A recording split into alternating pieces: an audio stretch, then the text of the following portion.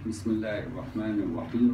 الحمد لله رب العالمين وأشهد أن لا إله إلا الله وأشهد أن سيدنا محمدا رسول الله.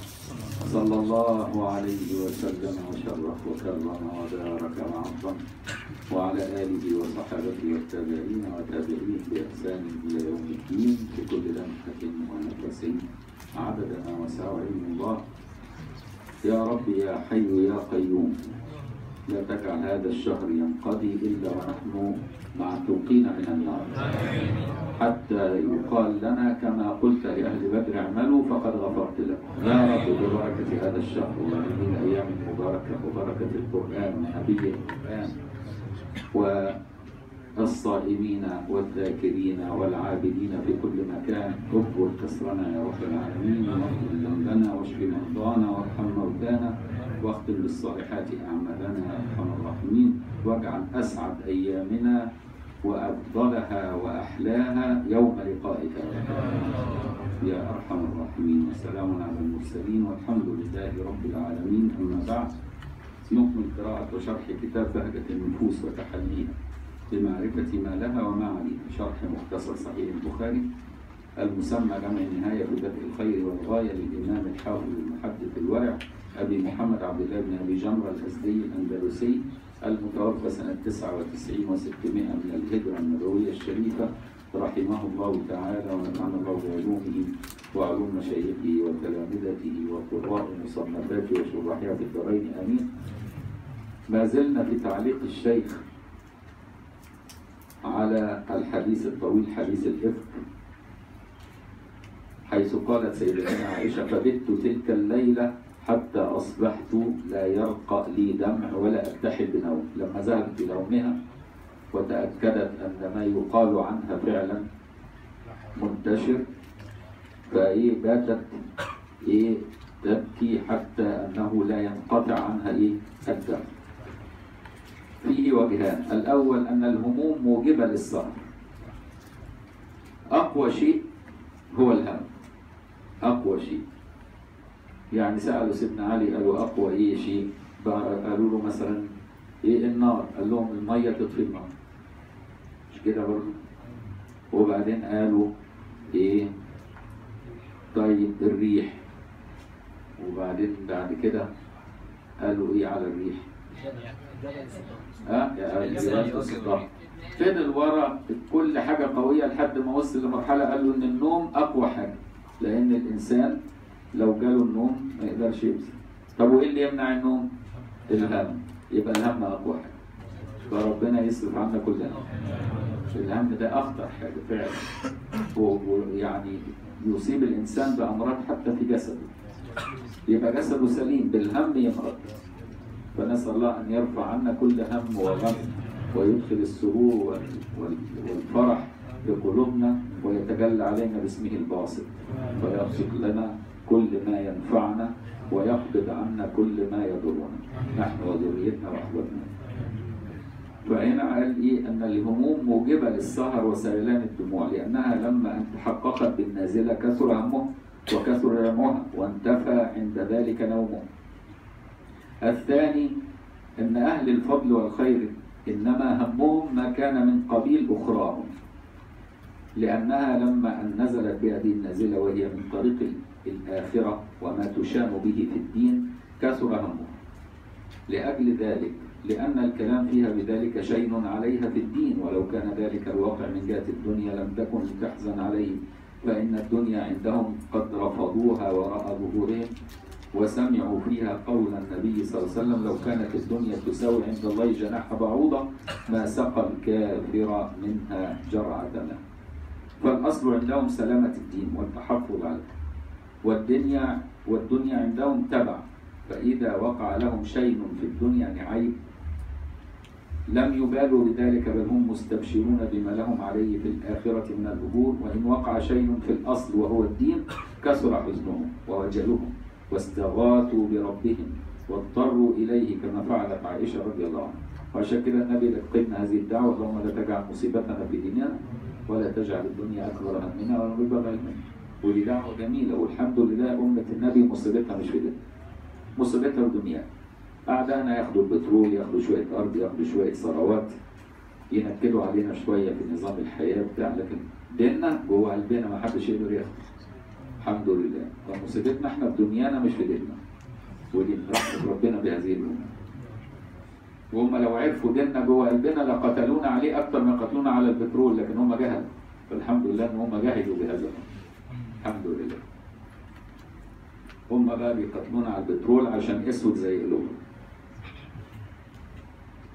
وقولها فدعا رسول الله صلى الله عليه وسلم علي بن أبي طالب وأسامة بن زيد حين استلبث الوحي يستشيرهما في فراق أهله. كنا قرأنا الفقرة دي بالأمس. هنشوف بقى كلام الشيخ بيعلق عليه يقول الأول أن ما اتفق للنبي صلى الله عليه وسلم في هذه النازلة من كونه لم يعلم الأمر فيها فذلك دال على معجزته وصدقه في كل ما جاء به عن ربه عز وجل. لأنه عليه السلام أتى بأشياء خارقة للعادات على ما تواتر وعلم. وأخبر عليه السلام بما سيكون إلى يوم القيامة وفي هذه النازلة التي هي في أهله لم يكن له علم بها حتى استشار غيره فيما يفعل فيها وظهرت عليه فيها أوصاف البشرية فكان ذلك دالا على أنه عليه السلام كل ما أتى به من أخبار الغيوب والمعجزات من الله عز وجل. ولو كان ذلك بغير هذا الوجه على ما قاله أهل الكفر والعناد يعني أهل الكفر والعناد قالوا القرآن ده من عند النبي. طب لو كان من عند النبي كان قال لها سورة النور على طول. طالما هي الحكاية من عنده لا ده قعد 40 يوم يعاني من كلام الناس ومش عارف يصده. صلى الله عليه وسلم. ده دليل إنه من عند الله. وبعدين هو النبي لو هيغش الناس كلها يغش نفسه ويبرأ زوجته وهو وهو ما يعرفش إنها بريئة. هيغش نفسه والعربي عنده الخيانة في الشرف أعظم خيانة. يعني ممكن يموت نفسه عشان شرف شوف قد إيه عند العربي كده. فده عشان كده شوف إيه؟ إن الذين جاءوا بالإفك عصبة منكم لا تحسبوه إيه؟ شرا لكم بل هو خير لكم لأنه في دليل على صدق هذا النبي صلى الله عليه وسلم. وعلى عظم قدر زوجات النبي فينزل في حقهم قرآن يبرئه ليوم الدين. كان ممكن يبرأها بغير القرآن. يشوف رؤية مثلا. لكن شوف برأها بقرآن يتلى كمان. علشان يبين عظم قدر هؤلاء الزوجات لانتسابهم لهذا الجناب الإيه العظيم المعظم صلى الله عليه وسلم. فلما أن كان هذا علم أن الأمر ليس بيدي وإنما يعلم من الأشياء ما أطلعه الله علي وما علمه اياها الثاني جواز المشورة ولكن بشرط أن يكون المستشار إليه فيه أهلية لذلك. لأن النبي صلى الله عليه وسلم لما أن وقع له ما وقع دعا علي بن أبي طالب وأسامة بن زيد فاستشارهما في فراق أهله. وعلي بن أبي طالب وأسامة بن زيد فيهما أهلية للمشورة على ما تواتر وعلم من فضلهما. وفيه دليل على أن من السنة استشارة الشباب في النوازل لأن النبي صلى الله عليه وسلم استشارهما وكان شابين. ومن هذا الباب والله أعلم كان عمر بن الخطاب يجمع الشباب إذا وقعت به النوازل واستشيرهم فيها. الثالث أن السيد في قومه أو الحاكم عليهم أو من فاق غيره في الخير والصلاح إذا نزلت به نازلة فله أن يستشير من هو أدنى منه فيها. لأن النبي صلى الله عليه وسلم كان قد علم هو كما قد علم هو أفضل البشر. لكن لما أن وقع له ما وقع استشار فيه أسامة وعليا لكن تكون المشورة لمن فيه أهلية لها كما تقدم. وإنما وإنما أتت بذكر الفراق مطلقا في الأهل ولم تذكر نفسها لوجهين الأول للقرينة التي هناك بها. آه أتت بذكر الفراق ما قالش فراقي. شفت ستنا عائشة قالت في فراق أهلي. ما قالتش في فراقي. علشان حتى تبعد عن نفسها حتى إيه؟ ودي برضو من حسن تأتي العرب إن لما يجي يوصف حاجة قبيحة ما ينسبهاش لنفسه. يعني حتى لو أنت مثلا سمعت واحد والعياذ بالله بيقول إيه؟ أنا كافر. ما تيجي يقول قال هو كافر. ما تقولش قال أنا كافر. تاني لا تقول قال هو كافر. ده من حسن إيه؟ كلام العرب. إن يبعد زي مثلا في القرآن يسموه الالتفات. جاء في القرآن كتير بقى الالتفات وإن كادوا لا يزلقونك. شوف كلام الخطاب. هو النبي كيف الخطاب لا يزلقونك بأبصارهم لما سمعوا الذكر ويقولون إنه لمجنون. ما إنك لمجنون. شوف كتير بقى الالتفات ده تلاقيه كتير في القرآن. وانت بتسمعه كده تعرف إيه الإعجاز. يعني ربنا مش عايز يواجه النبي بالتهمة مع إن هو بينفيها عنه. لكن برضه من حسن الأدب وإن كادوا ليزلقونك بأبصارهم. كلام الخطاب ما قالش ويقولون إنك لمجنون. قال ويقولون إنه لمجنون. شفت الالتفات الجميل؟ تلاقي كتير في القرآن. زي عبس الكافر وتولى. أن جاءه أي جاء ال- الأعمى للنبي. جابها بضمير الغيبة لأن القرب العبوس. والعبوس لفظ إيه؟ قبيح. أن جاءه الأعمى. وما يدريك أيها الكافر لعله يزكى أيها الكافر العابس لعله يذكر أو يذكر فتنفعه الذكر. أما من استغنى فأنت له تصدى. هنا ابتدى بقى إيه؟ يكلم النبي وكأنه بيلومه لأنه فعل فوق المطلوب منه. كأن ربنا غار على النبي. إزاي النبي يكلم الراجل والتاني يعبس وجه النبي؟ ربنا غار على النبي.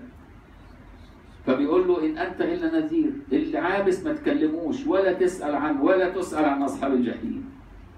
فكأن اللوم كان له لا عليه لأنه فعل فوق المطلوب لا دون المطلوب.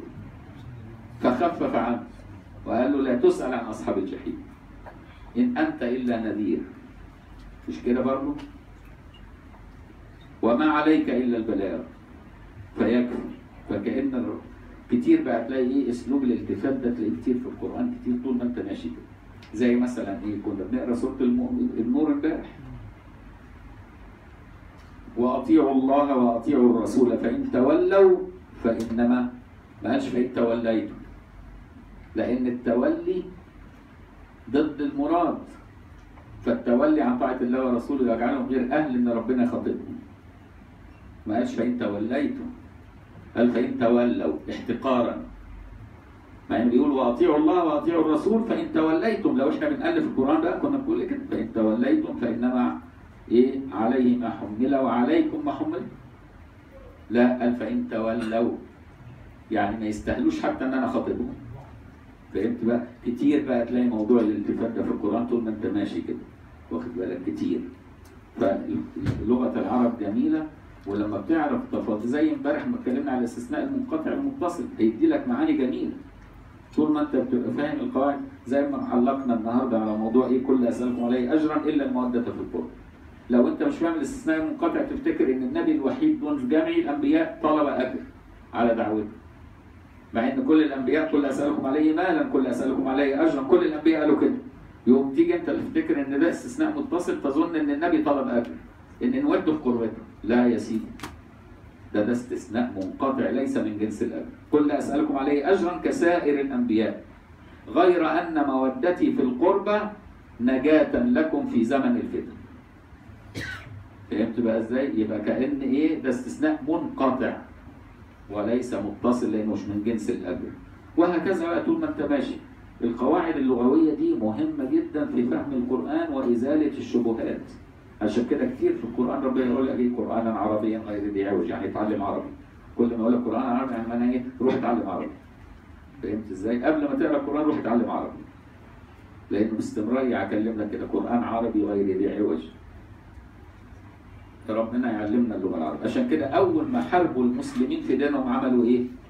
أضعفوا اللغة العربية. أضعفوا اللغة العربية وقفلوا الكتاتيب فهمت إزاي؟ ادي بداية حرب الايه المسلمين ابتدت كده أيام دولة المستعمرات بتاعت إنجلترا واللورد كرومر عمل إيه؟ عمل وزارة التربية والتعليم اللي هي مش محتاجة كتاب وعمل منهج لغة عربية مختلف يكره الناس في اللغة العربية عن منهج اللغة العربية بتاع الأزهر اللي هو مرتبط بالقرآن والسنة علشان تتعلم من خلاله. فجت وزارة التربية والتعليم اللي عملها واحد نجس علشان كده فيها خلل لأن أصلا منبتها خبيث. والله فيها خلل الآن. ضاع التعليم. منبتها خبيث والذي خبث لا يخرج إلا ناكدا. وإحنا دلوقتي منكدين في التعليم بتاعنا. مش ربنا بيقول كده؟ أنا مش بقول لك كلام والله كده مبالغة. دي حقائق. كل حاجة دور على أصلها. يقول لك على الأصل دور. منبت وزارة التربية والتعليم اللي عملها اللورد كرورمر علشان يحارب العلم الديني في مصر. فهمت؟ كان ممكن لو هو عايز الخير كان يطور الازهر ويخلي كله تعليم أزهري. لا ده هو عايز يعمل منافسة للتعليم الأزهري عشان أهل المناصب في الدنيا يتخرجوا من وزارة التربية والتعليم. يمسكوا المناصب وضعاف في اللغة ومش حافظين القرآن. واهل الأزهر يبقوا بعد كده ترابية ويقرأ على إيه؟ على الموتى القرآن وخلاص ما لهمش دخل بايه بالدنيا دي لعبة لورد كرونا والذي خبث لا يخرج إلا إيه؟ وإحنا كلنا اتعلمنا ناكل إحنا كده تتفرج تلاقي طبيب متخرج ما يعرفش طب مهندس متخرج ما يعرفش هندسة محاسب متخرج ما يعرفش محاسب محامي متخرج ما يعرفش محامي. أنا بشوف والله شباب ما يعرفش يقرأ. يا ابني ليه ما بتعرفش تقرأ؟ ده أنا سبت المدرسة من الاعدادية. طب الاعدادية ما تعرفش تقرأ؟ يعني قاعد في المدرسة لحد الاعدادية وخرج ما يعرفش يقرأ ويكتب.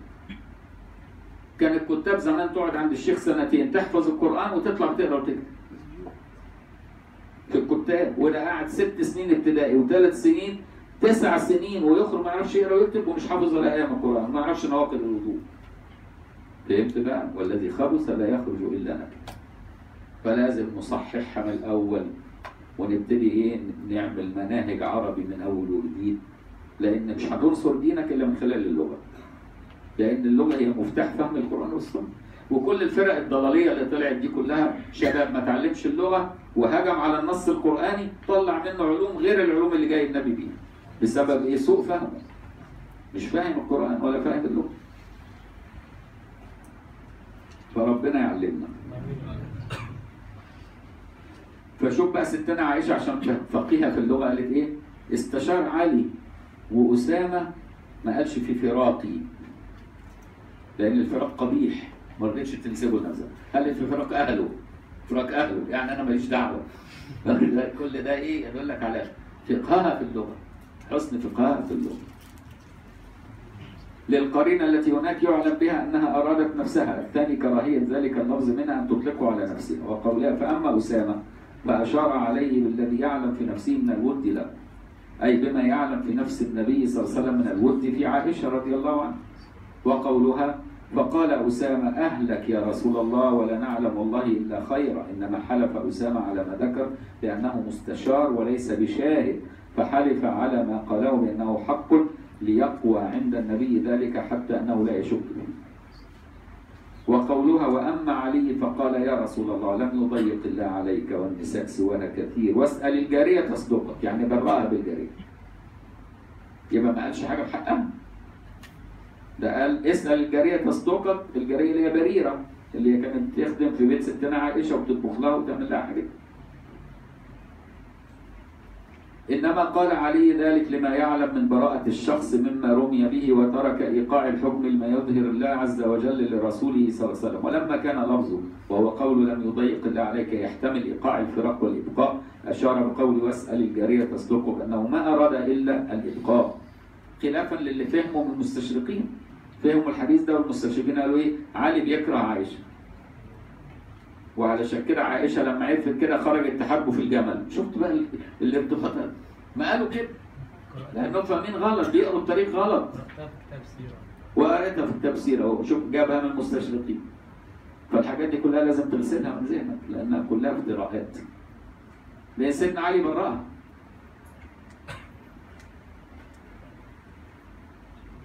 لأن برضو المستشرقين ضعاف في اللغة. وخبيثي النيه دخل يتعلم الدين علشان يضرب الدين من داخل الدين. فعنده خبث النيه وضعف في اللغة؟ فاوعى تاخد كلام المستشرقين وايه وتفتكر إن هو ده الدين. خد الدين من أهل الحب وأهل الإيمان مش من أهل الاستشراق. لأنه لكن ترك النظر في ذلك للنبي صلى الله عليه وسلم تأدبا معه واحتراما له عليه السلام لأنه يعلم من أن بريرة لا تخبره إلا بكل ما يوجب له التغبط بأهله لما يعلم في الأهل من الخير وليس يعلم فيها غير ذلك وهذا هو حقيقة العلم الذي خصه الله عز وجل به حتى أنه ترك النبي صلى الله عليه وسلم ينظر بنظره مع حصول براءة ما استشير فيه فجمع الفائدتين معا يبقى, يبقى كلام سيدنا علي أعمق وأقوى من كلام سيدنا أسامة فهمت بقى إزاي؟ في ناس ال- ال- التانيين المستشرقين طلعوا كلام سيدنا علي في غمزة بستنا عائشة. شوف يحرفون الكلمة عن مواضعه. دي طريقة اليهود. وعلشان كده كثير من علماء اليهود لما أسلم دخل للإسلام بطريقة فهم التوراة المحرفة. ففهم الدين بطريقة محرفة لدرجة إن المسلمين علموا ذلك وقالوا في إسرائيليات كثيرة دخلت فيه.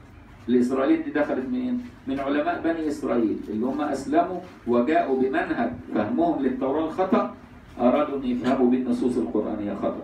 فإياك أن تسير خلف هؤلاء. فاهم؟ كل دي اسمها إسرائيليات اوعى دي وقولها فدعا رسول الله صلى الله عليه وسلم بريرة فقال يا بريرة هل رأيت فيها شيئا يريب عند هذا الحد نكمله بكرة كلام بريرة علشان إحنا إيه نقرأه من المتن الحديث إن شاء الله.